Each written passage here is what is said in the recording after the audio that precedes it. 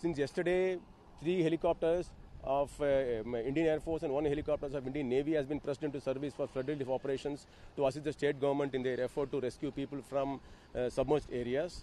Two Mi-17 and one ALH has been pressed into service along with one Chetak. Yesterday, 32 people have been winched up in uh, operations in thick weather. Uh, today, early morning onwards, 6:30, the um, rescue operation has been continuing in uh, um, Sadargi, in uh, Gadag district, in Gokak district, um, uh, in all these places.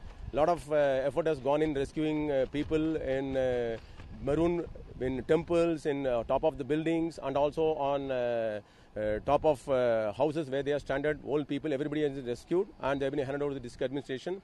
Uh, close to about uh, 470 to 500 food packets have been distributed yesterday to people who are in need, and today also more than 2,000 packets are likely to be distributed.